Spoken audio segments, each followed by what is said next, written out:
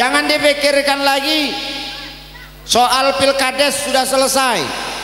Yang menang syukuri yang kalah sabar baik. Yang bersanak kalah sabar baik. Yang kedua jangan dipikirkan lagi. Lesti Kejora labalen dengan Rizky Bilar. Tinggal mikirkan pengantin baru lagi. Dari mana datang ni asap? Dari Munggu ke Sungai Lebung dari mana ini yang datang sedap Kak Beni dari dagu ke lubang hidung. Tengok ada jenggot dikit itu. Nyengok jenggot itulah dia tanda berpindah ke lain hati. Cuma Pak Karika hati-hati bu. Banyak jantan nikah yang romantis.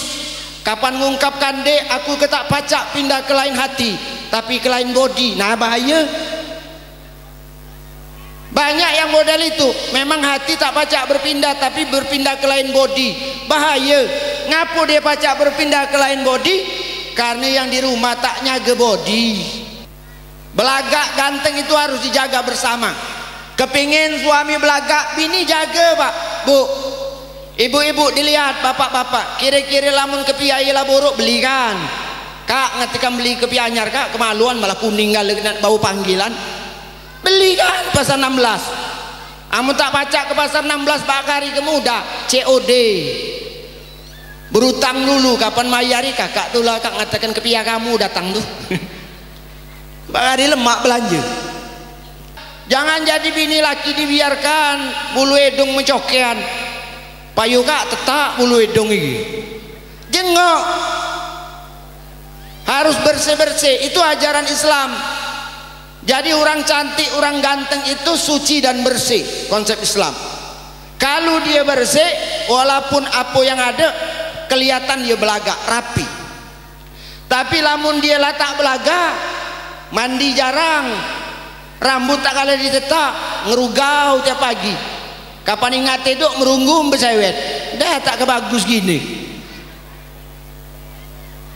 Yang baiklah jantan galak kena tinggalkan oleh bini itu malak nengok aja.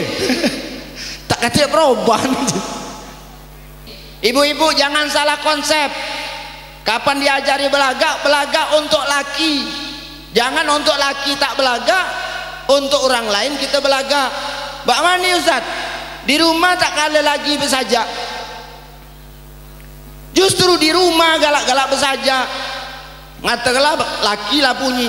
Justru lah bunyi laki itulah ibu-ibu nak belaga rambut rapikan. Gunting dikit model gaya baru. Di rumah dibuka. Di luar ditutup. Jangan untuk jantan lain. Bakari ke banyak terbalik. Ibu-ibu milenial lagi. Kapan di rumah segala ditutup kapan keluar segala dibuka. Kapan ke pasar seluruh orang bentor nyengok ibau ngata bini siapa itu jadi terbalik Siapa yang berdosa? Selain dia laki ini juga berdosa. Tapi ada yang laki yang tak terti bangga dengan bini model itu. Kalau kepengen bini belaga modali Ben, jangan pengen bini belaga tak dimodali. Namun dia hobi berdandan, kau belikan apa hobi ini? Kalau dia hobi pakai abang beber, abang bibo, kau belikan. Kapan kalangan cak empat batang belikan kena ngatakan kau hobi abang bibir. Papak-papak itu namanya ada perhatian tidak menginginkan tapi tidak punya perhatian. Sekali-sekali hadiahi Ben bini belikan baju. Itu cara laki menyenangkan bini bini menyenangkan laki. Itu dilakukan oleh Nabi Muhammad SAW dibelikan laki terimu apa yang dibelikan laki? Baju teduk dibelikan laki pakai. Walaupun kamu tak senang bu dengan baju belian laki. Warna terjerah wabang ngatka baju kedah aku makai cak tungau. Tak deman makai. Misal nih. Pakailah terus tiap malam. Kapan laki nyengok nak teduk ah ingat kedemanian adik kebelianku. Tiap malam beli padahal adik tadi pakai baju bukan pula deman gancang habis ini kan gancang buruk kaji martua datang muka lawang lagi lesu ragap-ragap. Wah mertua datang. Tahunian mertua kenapa datang barangkali di bulan muda. Ah nggak terkebak ke tahunian. Mertua datang bawa oleh-oleh. Terima cepat Assalamualaikum Waalaikumsalam. Oh umak datang. Mau oleh-oleh pisang sesikat atau pisang standar atau ikan. Bau gancang ambil. Ada mantu yang tak terti dibawakan oleh-oleh sampai terkering ikan itu. Canak bosok tak diolah-olah. Bau jemartu cak tak deman diri datang. Dan perilaku itu macam-macam untuk menjadi pendidikan bagi kita. Oleh karena itu di mana awal ceritanya dari perilaku dan omongan? Kalau kalian pacak ngatur omongan dan perilaku insya Allah damai keluarga. Tak ada saling simbat. Bak mani model nih kapan kakak dan bermarah kau diam baik dulu. Lah sudah dia bermarah baru kau nyimbat dikit. Lah tenang jokkan kopi secangkir. Nelentang ajak tidur malam baru kau jawab kak baik ke cerita ni? Masalah kita siang tadi. Selesai Coba lamun kau jawab cari itulah. Baik itu kakak mau ngomong dua patah, kau dua puluh kata, selesai kersi melayang. Kalau ada makanan, maka hidangkan makanan yang disenangi suami. Kalau dia hobi merokok, belikan rokok suami sesuai hobinya. Kalau tak lain hobi, tak maju. Walaupun rokok mewah, menbukan udut ani, pak, tak akor tulah. Kira-kira pak itu hidup. Amun rokok ani sepen, masih nak sepen tulah dia tak hendak tunjuk Samsu uji ni tak lemah Assalamualaikum warahmatullahi wabarakatuh. Alhamdulillahi rabbil alamin. Wabihi nasta'in ala umuri dunya wad din. Wassalatu wassalamu ala asrafil anbiya'i wal mursalin وعلى آله وصحبه أجمعين. أشهد أن لا إله إلا الله وحده لا شريك له. وأشهد أن محمدا عبده ورسوله. لا نبي بعده. اللهم صل على سيدنا ومولانا محمد وعلى آله وصحبه أجمعين. وبعده wa qala Allah taala fi kitabihil aziz wa min ayatihi an khalaqalakum min anfusikum azwaja litaskunu ilaiha wa ja'ala bainakum mawaddata wa rahmah inna fi dzalika laayatin liqaumi yatafakkarun. Bapak Ibu hadirin yang dirahmati Allah Subhanahu wa taala yang saya hormati unsur pemerintahan kelurahan yang sempat hadir ketua lingkungan ketua RW dan RT para alim, para ulama para pejabat yang tidak dapat saya sebutkan. Hadirin wal hadirat yang sama-sama dirahmati Allah subhanahu wa ta'ala yang sedang berbahagia kedua mempelai Adinda Beni dan Adinda siapa Ben? Sumita. Sasmita. Aku ngetes baik dia apal nama bini ini rupa nih Sasmita bu unjuk tahu kamu tuh sebab agar banyak lah kita apal lagi dengan bini. Lah kebanyakan penyengoan ngatakan siapa nama orang rumah tuh tak kenang lagi Bapak Ibu hadirin yang dirahmati Allah Subhanahu wa taala, keluarga besar yang berbahagia hari ini yang mengundang kita dalam rangka tasyakur bin ni'mah dalam akad nikah dan resepsi. Mungkin akad nikah sudah dilaksanakan pada beberapa waktu yang lalu ya. Hari ini adalah walimah persedekahan dalam bentuk syukur kepada Allah SWT dan sekaligus mengundang kita semua.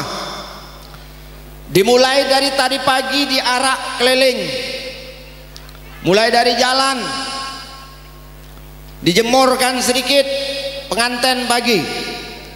Derek dia diarak dierek apa dierek padi. Diarak. Dan hari ini sudah ada di panggung kehormatan mudah-mudahan kita semua yang hadir dalam keadaan bahagia. Amin. Allahumma amin. Hati senang awak sehat. Dan lewat dari buntu. Sebab kalau buntu walaupun ada di sike pikiran ini belayawan jangan dipikirkan lagi soal pilkades sudah selesai. Yang menang syukuri yang kalah sabar baik yang besanak kalah sabar baik. Yang kedua jangan dipikirkan lagi. Lesti Kejora labalen dengan Rizky Bilar. Tinggal mikirkan pengantin baru lagi. Bapak Ibu hadirin yang dirahmati Allah Subhanahu wa taala. Ayat yang kami ungkapkan tadi adalah ungkapan Allah yang menginginkan pasangan yang disatukan dalam suami dan istri menjadi pasangan yang sakinah, mawaddah dan warahmah. Ada tiga unsur yang diharapkan dalam keluarga yang terbentuk bagi semua orang, tidak hanya bagi pengantin baru bahkan pengantin lama pun harus mempertahankan sakinah mawaddah dan warahmah sakinah ketenangan dalam rumah tangga. Mawaddah selalu ada rasa cinta dalam keluarga.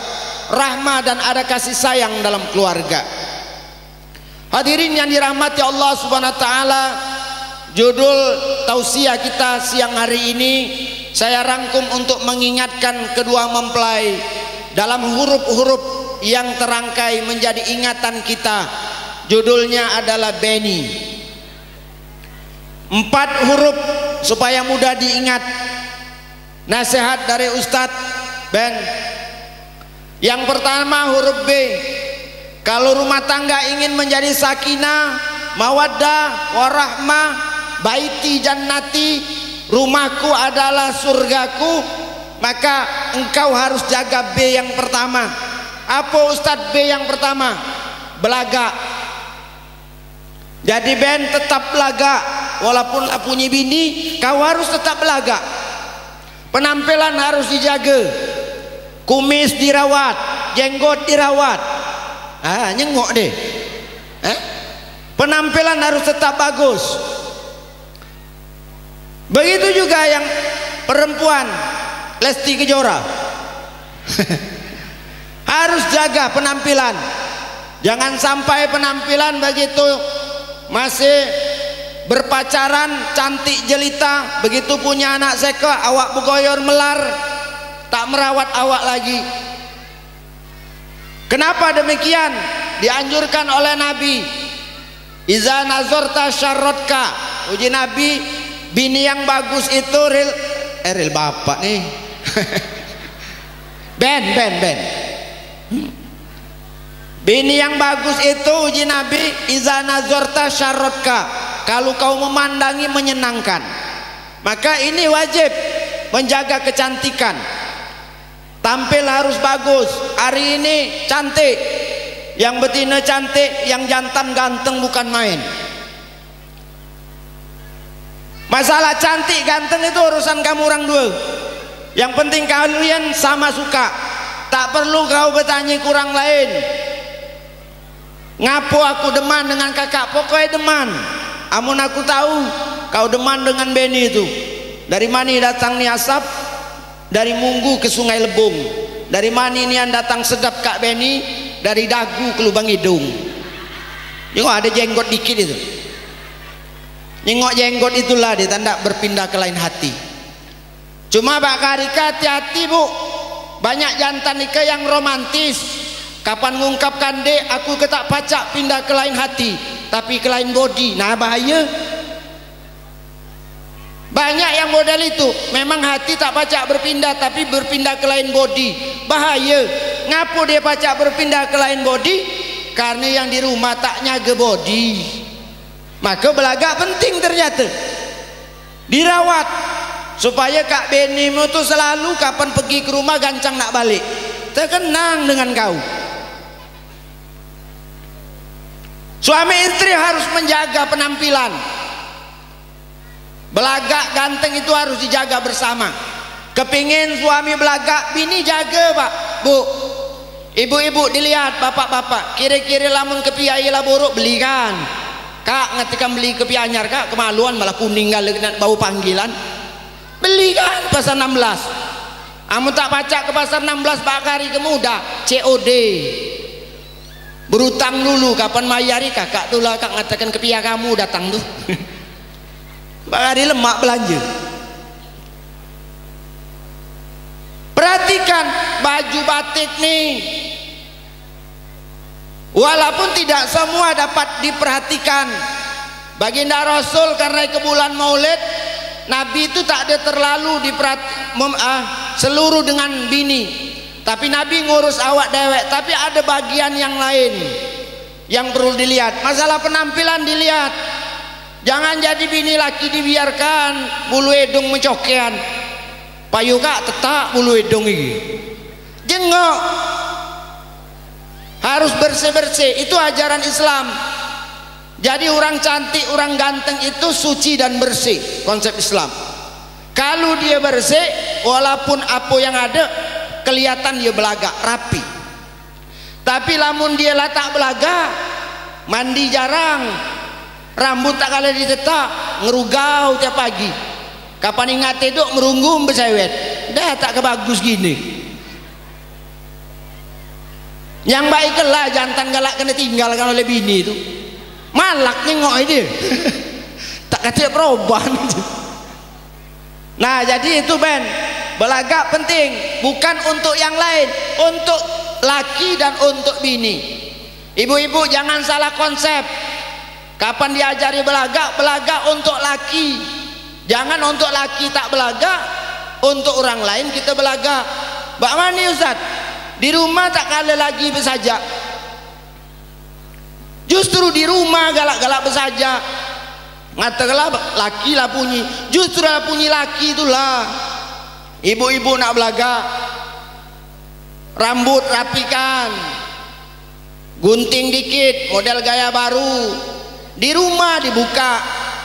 Namun di luar ditutup. Jangan untuk jantan lain. Bakari kebanyak terbalik. Ibu-ibu milenial lagi kapan di rumah segala ditutup kapan keluar segala dibuka.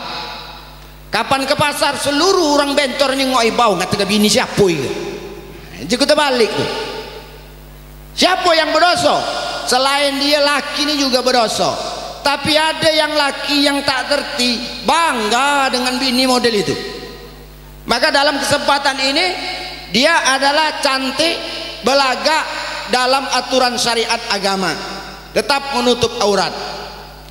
Bapak Ibu hadirin yang dirahmati Allah Subhanahu wa taala. Kalau kepengen bini belaga modali Ben, jangan pengen bini belaga tak dimodali. Amun dia hobi berdandan, kau belikan apa hobi ni? Kalau dia hobi pakai abang beber, abang bibo, kau belikan. Kapan kalangan cak empat batang belikan. Kena ngatakan kau hobi abang beber, papak-papak. itu namanya ada perhatian tidak menginginkan tapi tidak punya perhatian sekali-sekali hadiahi Ben bini belikan baju itu cara laki menyenangkan bini bini menyenangkan laki. Itu dilakukan oleh Nabi Muhammad SAW dibelikan laki terimu. Apa yang dibelikan laki? Baju teduk. Dibelikan laki pakai. Walaupun kamu tak senang bu dengan baju belian laki. Warna terjerah wabang ngatka baju kedah aku makai cak tungau deman makai. Misal nih. Pakailah terus tiap malam. Kapan laki nyengok nak tidur ah ingat kedemanian adik kebelianku. Tiap malam beli. Padahal adik tadi makai baju bukan pula deman gancang habis ini kak ganjang buruk Bapak Ibu hadirin yang dirahmati Allah Subhanahu taala. Kenapa yang terjadi? Bila terjadi penolakan adindaku kau dibelikan baju oleh kak benimu kau tolak kau olah ke bulu. Kamu kekak tak kata selera anak muda ngerti kan? Beli baju model lamu waya gede. Sekali lagi itu akan tertanam dalam hati. Tak ada lagi aku nak belikan oleh-oleh. Belilah seorang. Tak perlu deman kau dengan belianku. Ingatlah maka menghargai pemberian orang lain itu menyenangkan orang yang memberi. Termasuk martua datang termasuk mertua datang. Memberikan senang kepada orang lain. Ini penting. Kaji mertua datang. Muka lawang lagi lesu. Ragap-ragap. Wah mertua datang. Tahunian mertua kepada datang barangkali di bulan muda. Ah nggak terkebak ke tahunian. Bapak Ibu hadirin yang dirahmati Allah Subhanahu wa taala. Dan itu kewajiban. Tidak boleh. Tidak boleh maka cantik di luar juga cantik di dalam. Beni huruf yang kedua adalah elok. Bagus perilaku. Tak cukup belagak baik di luar ngatakan men binimu belagak nian. Cuma laku ni tak endah. Maka yang kedua harus perilaku yang baik. Ini yang menjaga keutuhan keluarga kalian. Laki sayang dengan bini sayang dengan keluarga. Bini sayang dengan laki sayang dengan keluarga dihormati. Mertua datang bawa oleh-oleh. Terimu cepat. Assalamualaikum Waalaikumsalam. Oh umak datang. Mau oleh-oleh Pisang sesikat Atau pisang standar Atau ikan. Bau Gancang ambil. Ada Mantu yang tak terti Dibawakan oleh-oleh Sampai terkering ikan itu. Canak bosuk Tak diolah-olah Bau jemartu Cak tak deman diri datang. Ini sikap. Maka ketika berkeluarga Engkau harus pandai menjaga sikap. Jangan sampai ada yang tersinggung di antara keluargamu orang-orang yang hadir dan belajar dan belajar. Ini penting. Sikap yang baik sopan santun. Suami kepada istri istri kepada suami diajarkan oleh Nabi kita Muhammad sallallahu alaihi wasallam. Khadijah tidak pernah berkata kasar kepada Nabi walaupun Nabi itu milu berdagang dengan Khadijah. Tetap dia adalah atasan melayani. Dia adalah suami dihormati tak pernah berkata kasar. Itu yang harus kita ikuti kedua Rasulullah sallallahu alaihi wasallam. Bapak Ibu tidak boleh saling menjelekkan suami saling menjelekkan istri rahasia cukup berdua saja tidak boleh dibungkar-bungkar Sering saya ungkapkan dalam untayan kalimat-kalimat tabligh suami istri harus saling menjaga perasaan. Tidak boleh saling mengatakan buyan. Itu yang deman-deman kita dengar. Walaupun situasi yang tidak menentu tetap harus bersabar. Dalam ceramah saya mungkin sering saya ungkapkan kita biasanya rebut oleh anak-anak. Punya anak barangkali tidak sepintar anak tetangga barangkali tidak sepintar anak teman kita. Orang ranking satu dia ranking satu dari belakang. Rebut balik ke rumah kak budak ikat tak dapat ranking. Alang kebuyani barangkali nurut kamu kak aja tak terimu kakak ni. Lamun aku pintar aja mungkin nurut kau. Dua laki bini rebut. Jadi kak budak ika buya nurut siapa? Malak-malak berpikir kalau nurut gede nih gini gede kena saran rebut. Karena nyari salah cobalah mau nyari perbaikan untuk budak. Tak rebut maka jangan nyari salah dalam keluarga. Kalau nyari salah maka banyak keributan yang akan terjadi. Kenapa bisa begitu terjadi? Karena perilaku yang tidak baik tidak sopan dengan laki dengan bini tidak sopan tetap harus saling menjaga kesopanan baik dalam berkata-kata. Apakah Nabi tak pernah dibantah oleh bini ini? Pernah bu ada bini Nabi yang pernah mantah. Omongan Nabi. Didiamkan Nabi semalam. Kau tuh? Ben didiamkan oleh Nabi. Hafsah. Tapi terdengar oleh Bapak I. Ah ini contoh. Kapan terdengar oleh Bapak Sadina Umar? Maka Sadina Umar nasihati wahai anakku jadi jangan melawan dengan laki. Jadi nabi ada itu tapi dia gancang menari. Itu perilaku yang salah. Jadi dicontoh yang baik-baik. Di zaman Rasulullah Rasulullah juga mengalami. Karena istri Rasulullah itu banyak. Mereka cemburu. Ada yang nyari perhatian. Dan perilaku itu macam-macam untuk menjadi pendidikan bagi kita. Oleh karena itu di mana awal ceritanya dari perilaku dan omongan kalau kalian pacak ngatur omongan dan perilaku insya Allah damai keluarga. Tak ada saling simbat. Bak mani model nih kapan kakak dan bermarah kau diam baik dulu. Lah sudah dia bermarah baru kau nyimbat dikit. Lah tenang jokkan kopi secangkir. Nelentang ajak tidur malam baru kau jawab kak baik ke cerita ni? Masalah kita siang tadi. Selesai coba lamun kau jawab cari itulah baik itu kakak ngomong dua patah kau dua puluh kata selesai kersi melayang tak selesai bu karena apa emosi yang terjadi istri juga begitu suami juga begitu boleh jadi kita pimpinan keluarga tapi kadang-kadang kita egois Bapak Ibu hadirin yang dirahmati Allah Subhanahu wa taala. Yang ketiga adalah nikah. Beni and nikah. Kalau sudah nikah, kawin, maka menyatu. Tidak ada lagi itu keluargamu, ini keluargaku. Satu padu. Keluargamu, keluargaku, keluargaku, keluargamu.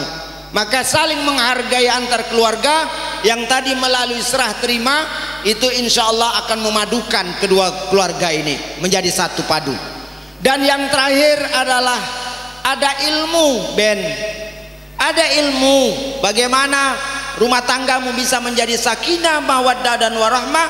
Ada ilmu yang mesti kau ilmui. Bagaimana menjadi pemimpin yang baik? Ternyata dalam Islam pemimpin yang baik adalah pemimpin yang disebutkan dalam Al-Quran Ar-Rijalu Qawwamuna 'alan nisa. Laki-laki pemimpin dalam rumah tangga dengan dua persoalan yang menjadi tolak titik tolak kepemimpinan. Yang pertama laki-laki dilebihkan dari perempuan. Yang kedua laki-laki memberikan nafkah kepada istri. Maka sejak hari ini Benny punya tanggung jawab. Ada istri sebentar lagi ada anak. Maka ini menjadi tanggung jawabmu untuk membahagiakan. Karena orang tuanya telah menyerahkan kepadamu untuk kebahagiaan anak perempuannya. Siap Ben? Lah berjanji Pak De. Siap insya Allah. Saya siap mensejahterakan membahagiakan. Maka sejak hari ini tanggung jawabnya sudah ada. Yang kedua engkau adalah pimpinan keluarga. Maka seorang pimpinan memberikan arah dari perjuangan keluargamu.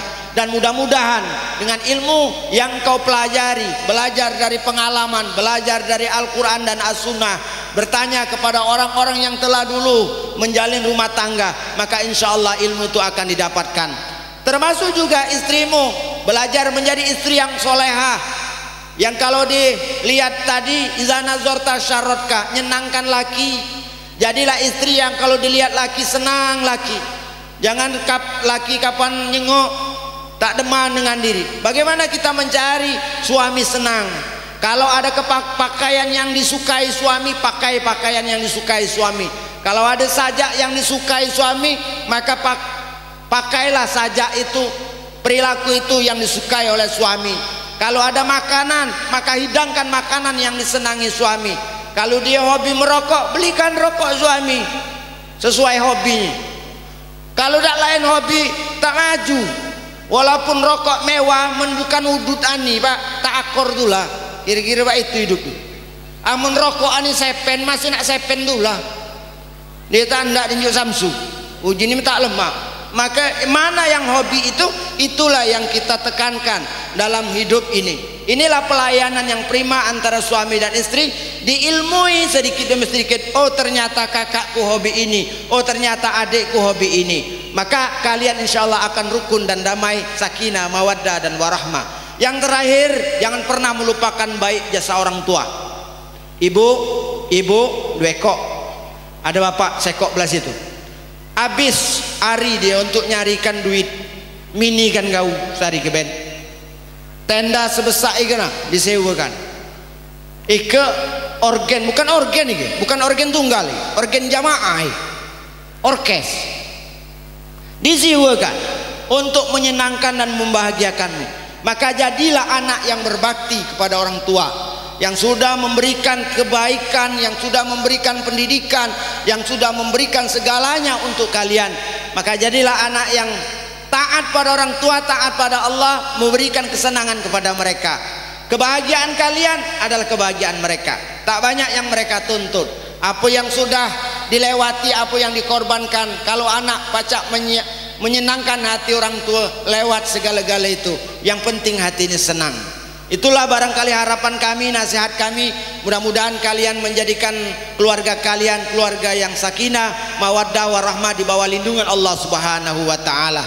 Bapak Ibu hadirin yang dirahmati Allah Subhanahu wa taala, di penghujung acara mari kita bermunajat kehadiran Allah Subhanahu wa taala agar rangkaian kegiatan acara kita hari ini diridhoi Allah Subhanahu wa taala, kedua mempelai juga diberikan ijabah oleh Allah terhadap apa yang menjadi cita-cita dan harapan mereka. أعوذ بالله من الشيطان الرجيم. بسم الله الرحمن الرحيم. الحمد لله رب العالمين. حمد الشاكرين. حمد الناعمين. حمد يوافي نعمه ويكافئ مزيده. يا ربنا لك الحمد كما ينبغي لجلال وجهك الكريم وعظيم سلطانك. اللهم اجعل جمعنا جمعا مرحوما وتفرقنا من بعده تفرقا معصوما. اللهم أرنا الحق حقا وارزقنا اتباعه وأرنا الباطل باطلا وارزقنا اجتنابه. Allahumma alif bainahuma kama alafta baina Adam wa Hawa wa alif bainahuma kama alafta baina Ibrahim wa Sarah wa alif bainahuma kama alafta baina Yusuf wa Zulaiha wa alif bainahuma kama alafta baina nabiyina Muhammadin sallallahu alaihi wasallam wa Khadijatul Kubra wa Aisyatul Ridha بارك الله لك وبارك عليك وجمع بينكما في خير ربنا هب لنا من أزواجنا وذرياتنا قرة أعين واجعلنا للمتقين إماما ربنا اغفر لنا ذنوبنا ولوالدينا وارحمهما كما ربيانا صغيرا ربنا آتنا في الدنيا حسنة وفي الآخرة حسنة وقنا عذاب النار. والحمد لله رب العالمين. آخر الكلام بالله التوفيق والهداية والسلام عليكم ورحمة الله وبركاته